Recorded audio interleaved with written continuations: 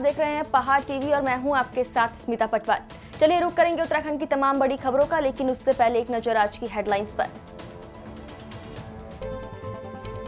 मुख्यमंत्री ने आम जनता से भेंट कर सुनी जन समस्याएँ अधिकारियों को दिए निर्देश। महेंद्र भट्ट बने उत्तराखंड बीजेपी के नए प्रदेश अध्यक्ष, मदन कौशिक हटाए गए। देहरादून में मूसलाधार बारिश से लोगों का हाल बुरा, सड़कें हुई जलमग्न। जान जोखिम में डालकर बच्चों को फंते का देरा पार करा रहे शिक्षक। वीडियो हुआ वायरल। महेंद्र भट्ट, उत्तराखंड बीजेपी के नए प्रदेश अध्यक्ष होंगे। महेंद्र भट्ट ने मदन कौशिक का स्थान लिया है।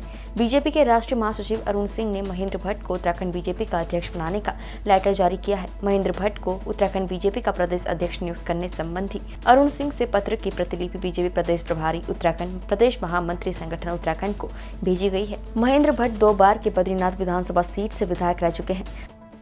देखिए, हम लोग, मैं अपने नेतृत्व का हृदय से आभार व्यक्त करता हूँ कि मुझ जैसे कार्यकर्ता को महत्वपूर्ण ज़िम्मेदारी दी है। और भविष्य के अंदर हम लोग पार्टी, क्योंकि उत्तराखंड के अंदर नंबर एक पर है।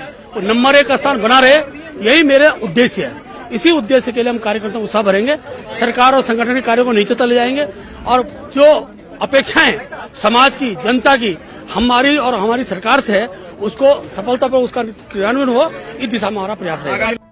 मुख्यमंत्री पुष्कर सिंह धामी ने शुक्रवार को मुख्यमंत्री कैंप कार्यालय स्थित मुख्य सेवक सदन में बड़ी संख्या में प्रदेश के विभिन्न क्षेत्रों से आए लोगों और विभिन्न संगठनों आदि से जुड़े लोगों से भेंट कर उनकी समस्याएँ सुनी। मुख्यमंत्री ने सभी की समस्याओं से अवगत होते हुए संबंधित अधिकारियों को समस्याओं के त्वरित निराकरण के निर्देश दिए।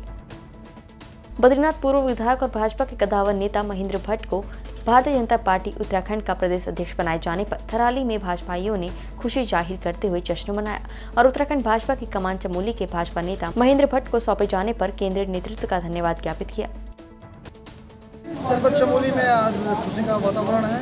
बहुत ही अपार खुशी जनपद चमोली के लोगों को है, भारतीय जनता पार्टी के साथ साथ पूरे जनपद को खुशी का उल्लास का माहौल है जोशीमठ से लेकर देवाल तक लगातार जश्न मनाया जा रहा है, मिठाइयाँ बांटी जा रही है और मैं निश्चित राष्ट्रीय नेतृत्व का और प्रदेश नेतृत्व का, संगठन का, सबका बहुत बहुत आभार व्यक्त करता हूँ बहुत बहुत धन्यवाद देता हूँ, महेंद्र भट्ट को बहुत बहुत बधाई देता हूँ, महेंद्र भट्ट जी निश्चित एक बहुत ग्रास रूट के कार्यकर्ता हैं, युवा मोर्चे से अपना करियर शुरू करने के बाद आज इस मुकाम पर उनको पहुँचा, पार्टी ने उनकी मर्मरता को देखते हुए, संगठन की मर्मरता को देखते हुए उनकी ज़िम्मेदारी दी है। निश्चित ही नेतृत्व महेंद्र भट्ट के नेतृत्व में उत्तराखंड प्रदेश संगठन में दिनों दिन उन्नति करेगा, वृद्धि करेगा। निश्चित ही, आज जनपद चमोली में बहुत ही खुशी और उल्लास का दिन है और हम बीजेपी के राष्ट्रीय नेतृत्व को और प्रदेश संगठन को, माननीय मुख्यमंत्री जी को सबको बहुत बहुत धन्यवाद देते हैं, बहुत बहुत धन्यवाद राष्ट्रीय नेतृत्व का और प्रदेश नेतृत्व का धन्यवाद देना चाहूँगा कि उनने आज चमोली ज़िले को बहुत बड़ी सौगात दी है और चमोली संपूर्ण चमोली ज़िले में आज आदरणीय महेंद्र भट्ट को प्रदेश अध्यक्ष बनाए जाने की खुशी में उनको किया है प्रदेश सचिव पूरे जनपद में खुशी का माहौल है और हम केंद्रीय नेतृत्व और राष्ट्रीय राष्ट्रीय नेतृत्व और प्रदेश नेतृत्व का धन्यवाद। मुख्यमंत्री पुष्कर सिंह धामी ने सीएम कैंप कार्यालय में चंपावत जनपद को आदर्श जनपद के रूप में विकसित करने के लिए आयोजित बोधिस्तव संवाद कार्यक्रम में संबोधित किया। सीएम धामी ने कहा कि विज्ञान और तकनीकी का उपयोग करते हुए इकोलॉजी और इकोनॉमी में संतुलन रखना है। मुख्यमंत्री ने कहा कि वर्ष 2025 तक उत्तराखंड को देश का सर्वश्रेष्ठ राज्य बनाने के लिए पूरे समर्पित भाव से काम करना है।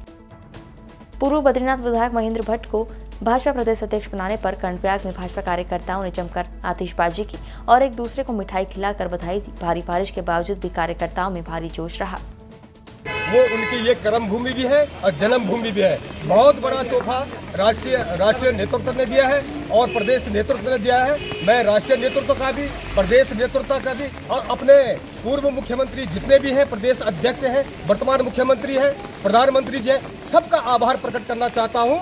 और एक बहुत बड़ा जो है, यहाँ से संदेश गया है बद्रीनाथ विधानसभा से कि आज उत्तराखंड के जो है, पूरे प्रदेश में उत्तराखंड का जो है, जनपद चमोली का नाम जो है सर्वोच्च उस पर है। और हम आभारी हैं सब लोगों के। और आप सबके भी आभारी हैं कि सभी कार्यकर्ताओं में बहुत खुशी है। आज जो है कि हमारे राष्ट्रीय नेतृत्व ने, प्रदेश नेतृत्व ने, माननीय पूर्व विधायक महेंद्र भट्ट जी, पूर्व में जो कि हमारे जो है कि युवा मोर्चा के प्रदेश अध्यक्ष रहे हैं, वर्तमान में उनको हमारे राष्ट्रीय नेतृत्व ने, प्रदेश नेतृत्व ने उनको प्रदेश अध्यक्ष की महत्वपूर्ण ज़िम्मेदारी दी है। इसके लिए मैं अपने सभी कार्यकर्ताओं की तरफ़ से एक बार पुनः आला कमान का, राष्ट्रीय नेतृत्व का, प्रदेश नेतृत्व का धन्यवाद और आभार प्रकट करता हूँ। के लिए बीजेपी के आम कार्यकर्ता के लिए एक उत्साह का संचार हुआ है कि बीजेपी में, बीजेपी एकमात्र ऐसी पार्टी है जो अपने छोटे से छोटे कार्यकर्ता को इतना बड़ा सम्मान देती देती है। और हमारे युवा मोर्चा, विशेषकर चमोली ज़िले के युवा मोर्चा की तरफ़ से मैं महेंद्र भट्ट जी को बहुत बहुत बधाई देता हूँ। और आशा करता हूँ कि उनका कार्यकाल एक चमोली ज़िले के लिए भी एक बड़ी वो महान वो रहेगी, उपलब्धि रहेगी। और युवा कार्यकर्ता भी अपने लिए एक कांग्रेस कार्यकर्ताओं ने पार्टी के वरिष्ठ नेता पूर्व विधायक रंजीत सिंह रावत के नेतृत्व में रानीखेत रोड पर केंद्रीय मंत्री स्मृति ईरानी के खिलाफ नारेबाजी प्रदर्शन करते हुए पुतला दहन किया। पूर्व विधायक रंजीत सिंह रावत ने कहा कि मंत्री स्मृति ईरानी द्वारा कांग्रेस के अध्यक्ष सोनिया गांधी के खिलाफ की गई बयानबाजी पूरी तरह निंदनीय है। उन्होंने कहा की सोनिया गांधी देश के एकमात्र ऐसी नेता है, जिन्होंने एक बार नहीं, कई बार देश के प्रधानमंत्री के पद को ठुकरा दिया है। संसद में केंद्रीय मंत्री स्मृति ईरानी द्वारा भारतीय राष्ट्रीय कांग्रेस के राष्ट्रीय अध्यक्ष और हमारी नेता सोनिया गांधी के प्रति बयान दिया गया है। उसके विरोध में हम कांग्रेस जन आज पूरे देश में विरोध में हैं, सड़कों पर हैं और स्मृति ईरानी का पुतला फूक रहे हैं और साथ ही सरकार से मांग कर रहे हैं कि उनको मंत्रिमंडल से बर्खास्त किया जाए। उत्तराखंड में हुई मूसलाधार बारिश से देहरादून जलमग्न हो गया। बारिश से राजधानी देहरादून के अधिकतर इलाकों की सड़कों और मोहल्लों में घुटने तक पानी भर गया, जिससे जनजीवन अस्त व्यस्त हो गया। इस दौरान बारिश का पानी लोगों के घरों और दुकानों में घुसने से कीमती सामान भी बर्बाद हो गया। घर और दुकानों में घुसे पानी को निकालने के लिए लोग जदोजहद करते हुए नज़र आए। विकास मुंसियारी को जोड़ने वाला मुख्य थल मुंसियारी मोटर मार्ग पर हररिया के पास भारी चट्टान दरकने से मुख्य मोटर मार्ग बाधित हो गया। चट्टान दरकने से मुख्य मोटर मार्ग पर भारी मात्रा में मलबा एकत्रित हुआ, जिससे थल मुंसियारी मोटर मार्ग पर आवाजाही पूरी तरह से ठप पड़ गई। जनपद उत्तरकाशी में लगातार हो रही बारिश से जहाँ जनजीवन अस्त व्यस्त है, वहीं नदी नाले उफान पर बह रहे हैं, जिससे आमजन को काफ़ी परेशानियों का सामना करना पड़ रहा है। वहीं उत्तरकाशी ज़िले के ब्रह्मखाल क्षेत्र से स्कूली बच्चों को उफनते गदेरे पार कराने का वीडियो सामने आया है, जहाँ बच्चों को स्कूली शिक्षक बरसाती गदेरा पार कराते दिखाई दे रहे हैं, जिससे साफ़ तौर पर देखा जा सकता है की पहाड़ों में स्कूली बच्चों को आए दिन भारी मुश्किलों का सामना करना पड़ रहा है। विकासखंड मुंसियारी के अंतर्गत मल्ला जोहार के बुगडियार में घायल दो मजदूरों को कल ठेकेदार नाथ सिंह टोलिया अपने संसाधनों से मुंसियारी हॉस्पिटल लेकर पहुँचे। आपको बता दें कि ये दोनों मजदूर सिवनी नामक स्थान पर लोक निर्माण विभाग का कार्य करते हुए भूस्खलन की चपेट में आ गए थे, जिसमें मंगल सिंह के सर में गुमचोट आने से वो बेहोश हो गया। दूसरे मजदूर गणेश राम के हाथ पैरों में गंभीर चोटें आने पर छब्बीस जुलाई को प्रशासन से हेली से लिफ्ट करने की मांग की गई। लेकिन तीन दिन बीतने पर भी जब प्रशासन से कोई मदद नहीं मिली तो ठेकेदार ने उनतीस जुलाई को मुंसियारी से मजदूरों को भेजकर कल मुंसियारी हॉस्पिटल लाया गया। नगर पंचायत बैरीनाग के सफ़ाई कर्मियों ने तहसील कार्यालय पहुंचकर नगर पंचायत के अधिशासी अधिकारी के खिलाफ प्रदर्शन किया और एसडीएम को ज्ञापन सौंप कर बताया कि सीएम के द्वारा सफ़ाई कर्मियों को प्रतिदिन पाँच सौ रूपए मानदेय घोषणा होने के बाद शासनादेश हो गया है। अन्य निकायों में पाँच सौ रूपए प्रतिदिन मिलना शुरू हो गया है। जब इस संदर्भ में नगर पंचायत के अधिशासी अधिकारी से वार्ता करने के लिए कार्यालय में गए तो उन्होंने वार्ता करने से इनकार कर दिया और कोई बात नहीं सुनी, जिससे उन्होंने तीन दिन के बाद सफ़ाई कार्य बहिष्कार करने की चेतावनी दी है। पुष्कर सिंह धामी जी ने पाँच सौ रुपये प्रति प्रतिदिन कर्मचारी का वेतन किया था। लेकिन नगर पंचायत बेरीनाग में पाँच सौ रुपये प्रतिदिन कर्मचारी को वेतन नहीं दिया जा रहा और कर्मचारी जब अपनी वार्ता करने के लिए ईओ साहब के पास जा रहे हैं तो ईओ साहब कर्मचारी से बात नहीं कर रहे हैं, मना कर दे रहे हैं बात करने के लिए। और इसी चीज़ का विरोध करने के लिए आज हम नगर पंचायत ऑफ़िस में गए थे, ईओ साहब ने हमसे कोई बात नहीं करी और हमें वहाँ से मतलब मुँह ही नहीं लगाया हमको। और उसके बाद में हम आए हैं अब तहसील परिषद में एच साहब के पास अपना ज्ञापन देने के लिए। या तो हमें पाँच सौ रुपये प्रतिदिन का मानदेय दिया जाए और नहीं तो हम कल से ही अपने धरने प्रदर्शन हड़ताल करेंगे।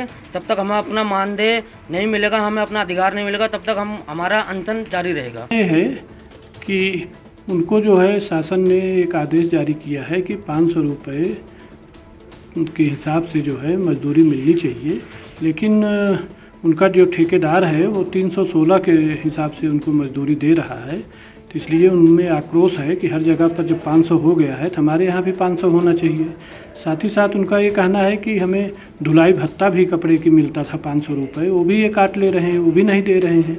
इस प्रकार उनका जो है आ, कहना है कि उनके अपने बच्चों का पालन पोषण नहीं हो पा रहा है हमारी जो है मजदूरी को बढ़ाई जाए। और साथ ही साथ उनका कहना है कि इस समस्या को लेकर हम ईओ के पास गए थे और ईओ हमारी बात सुन नहीं रहे हैं। तो हमने कहा कि ठीक है, इस संबंध में हम जो है मंगलवार को एक बैठक करते हैं और ईओ को भी बुलाते हैं, आपके ठेकेदार को भी बुलाते हैं, आपको भी बुलाते हैं और वार्ता करके इसका हल निकाला जाए। हल्द्वानी पुलिस ने दुकानों में ढाबा बोलने वाले दो चोरों को गिरफ़्तार कर लिया है, जिन्हें कार्रवाई के बाद न्यायालय में पेश किया गया है। आपको बता दें कि बीती तेईस जुलाई की रात चोरों ने क्रियाशाला के पास हार्डवेयर स्टोर में धावा बोल दिया था। इसी रात चोरों ने तीन पानी के पास भी हार्डवेयर की दुकान को निशाना बनाकर सैनिटरी और हार्डवेयर का सामान चोरी कर लिया था। ये तेईस सात 2022 को क्रियाशील में और तीन पानी में चोरियाँ हुई थी और मुखानी थाना क्षेत्र में भी सैनिटरी स्टोर पर चोरियाँ हुई थी। इसमें पुलिस टीमों का गठन किया गया था चोरी के अनावरण के लिए और कोतवाली में और मुखानी थाने में अभियोग पंजीकृत किए गए। इनके सापेक्ष कम से कम 200 से 250 सीसीटीवी फुटेज चेक करने के बाद जो हमारी पुलिस टीमें लगी थी, उनको एक क्लू मिला, जिसके आधार पर दो लोगों को अरेस्ट किया गया है, जो घोड़ा पड़ाव से अरेस्ट किया गया उन लोगों को।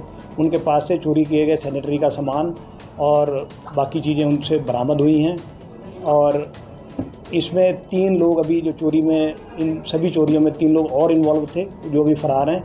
उनको, उनके अरेस्टिंग के लिए टीमों का गठन कर दिया गया है। उनको भी शीघ्र अरेस्ट किया जाएगा। इसमें एक जो वाहन है, जिसमें से ये सामान बरामद हुआ है यूटिलिटी एक वाहन, महिंद्रा का यूटिलिटी वाहन बरामद हुआ है। और उस वाहन को वाहन को भी केस प्रॉपर्टी बनाया जा रहा है और उसकी अग्रिम अग्रिम कार्रवाई की जा रही है। सर दूसरा शहर में लगातार इसमें के वाली सांप बढ़ते जा रहा है और दूसरा जो है, चोरी की भी कई कार्रवाई सामने आ रही है। तो इसके लिए सर जो चोरी बढ़ रही शहर में, उसके लिए क्या कार्रवाई करेगी ये बिल्कुल सही बात कही है आपने कि ये जो कुछ लोग स्मैक पीते हैं, जब उनको स्मैक की कमी होने लग जाती है तो उनके पास पैसा नहीं होता तो उसको, उसमें चोरी के मामले में वो इंडल्ज हो जाते हैं, चोरियाँ करने लग जाते हैं। और इसलिए यहाँ के जो लोकल लोकल के लोग हैं, जो नशे में इंडल्ज हैं, वो लोग चोरियाँ करने लग गए हैं। तो नशे पर नैनीताल पुलिस की प्रभावी कार्रवाई हो रही है। हमने अभी तक लगभग पाँच करोड़ से अधिक का एनडीपीएस का सामान जब्त किया है और उसमें सौ से ज़्यादा लोगों को जेल भेजा है। तो ये कार्रवाई नैनीताल पुलिस की लगातार जारी है और हमारी टीमें उसमें लगातार लगी हुई हैं। और अगर कोई चोरी कर रहा है तो उस उस चोरी का भी अनावरण किया जा रहा है और जो अभियुक्त है, उनको जेल भेजा जा रहा है। आज़ादी के अमृत महोत्सव के अंतर्गत हेमवती नंदन बहुगुणा गढ़वाल केंद्रीय विश्वविद्यालय की भाषा प्रयोगशाला द्वारा गढ़वाली की भाषिक परंपरा चुनौतियाँ विषय पर एक कार्यशाला का आयोजन किया गया। कार्यशाला में गढ़वाली के प्रसिद्ध लोक गायक नरेंद्र सिंह नेगी, गढ़वाली कविता का बदलता स्वरूप, professor D R Purohit, Garhwali लोक साहित्य और वर्तमान साहित्य में भाषाई अंतर, बिना बेंजवाल, शब्द संपदा की दृष्टि से गढ़वाली भाषा की समृद्धि और शब्दाभाव, गिरीश सुंदरियाल, मातृभाषा गढ़वाली में शिक्षण की चुनौतियाँ, रमाकांत बेंजवाल, गढ़वाली में औचारणिक विभेद विषय पर अपना व्याख्यान दिया। जो वर्कशॉप हमने ऑर्गेनाइज़ की है, वो आज़ादी का अमृत महोत्सव जो प्रोग्राम है गवर्नमेंट ऑफ़ इंडिया के उसके अंतर्गत कराई गई है। इसमें हम लैंग्वेज लैब के जो शोध है, सबसे पहले हम गढ़वाली लैंग्वेज पे फोकस करना चाह रहे हैं और समझना चाह रहे हैं कि गढ़वाली लैंग्वेज पे हम क्या क्या शोध कार्य कर सकते हैं। तो आज एक्सपर्ट्स हमें बताएँगे, मार्गदर्शन देंगे कि हम क्या क्या कैसे शुरुआत करें इस इनिशिएटिव की। आज़ादी के अमृत महोत्सव के अधीन जो आज गढ़वाली भाषा का कार्यक्रम यहाँ पे आयोजित किया गया, जहाँ अमृत महोत्सव में ये बात हो रही कि घर घर स्वाभिमान का राष्ट्रीय तिरंगा लहराया जाए। तो ये भी स्वाभिमान छोटे छोटे तत्वों से बन के मिल के बनता है और अपनी भाषा और अपनी संस्कृति भी एक उसी राष्ट्रीय स्वाभिमान का हिस्सा है। उसी के तहत आज ये गढ़वाली पे ये जो आयोजन किया गया है। और मैं ये कहता हूँ कि जो गढ़वाली भाषा है, यहाँ की संस्कृति है, यहाँ का जियोलॉजी है, यहाँ की जोग्राफी है, उस पर अगर ये हमारी यूनिवर्सिटी का हम नहीं करें तो फिर कौन करेगा? नए बच्चों को जो गढ़वाली भाषा सीखना चाहते हैं उन बच्चों को इस सर्टिफिकेट कोर्स के माध्यम से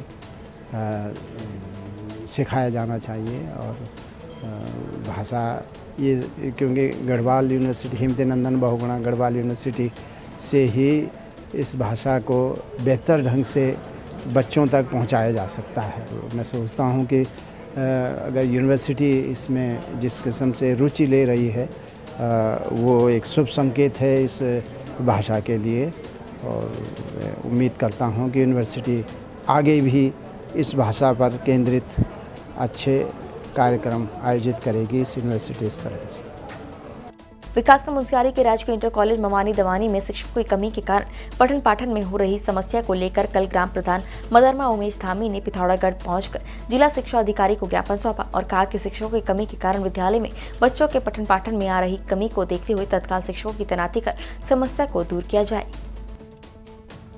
उत्तराखंड की तमाम बड़ी खबरों में फ़िलहाल इतना ही। बाकी खबरों के लिए देखते रहिए पहाड़ टीवी नमस्कार। Thank you.